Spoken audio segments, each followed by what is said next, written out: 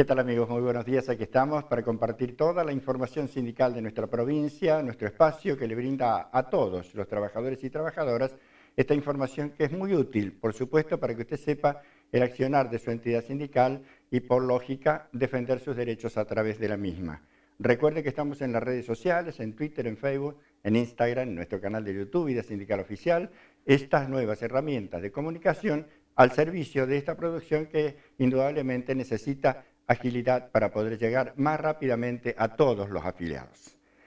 Estuvimos en lo que fue la marcha que realizó la gente de Fuerza Córdoba, descontento total, dialogamos con el secretario general de la entidad, el señor eh, Suárez, e indudablemente todo lo que sucede ahora, a partir de este momento, como decimos, la semana que viene se va a intensificar según lo que dijeron en la asamblea que propuso salir a las calles. Gabriel Suárez, secretario general del sindicato de Luz y Fuerza Córdoba.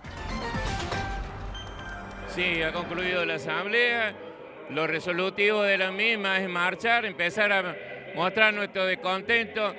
Ha habido un tiempo deliberativo, por eso se ha demorado, y coordinar con las demás organizaciones sindicales todas actividades que se desarrollen al margen de las propias que se van a dar a conocer en breve.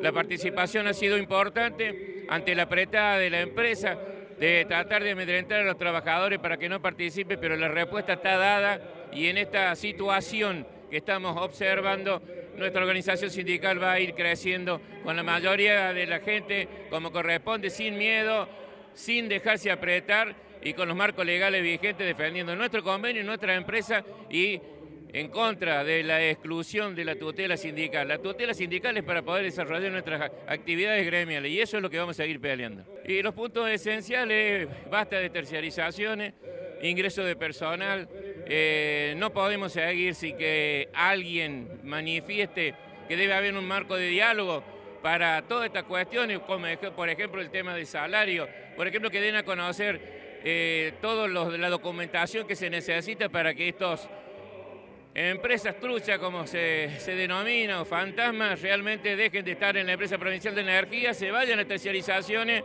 y que indudablemente nuestra medida va a continuar con largo alcance en el tiempo, producto de que estamos exigiendo que se vayan todas las especializaciones de empresas. Sí, el plan de lucha que viene en continuidad, tenemos cierto, del 2018 venimos con un conflicto. El plan de lucha se volvió a retomar a partir de lo presencial y en esa situación nuevamente en la calle Luz.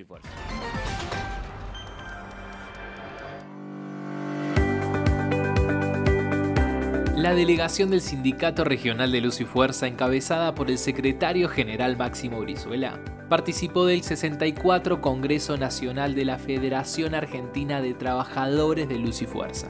El encuentro se llevó a cabo en la ciudad de Mar del Plata y allí el secretario general de la FADLIF, Guillermo Moser, asumió un nuevo mandato tras las elecciones celebradas en el mes de marzo.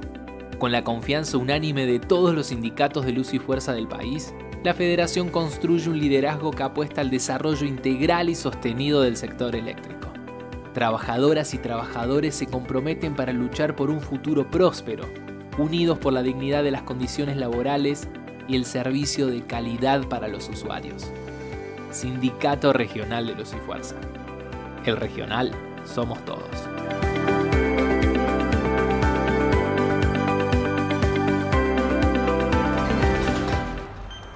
Una pequeña pausa y enseguida más vida sindical.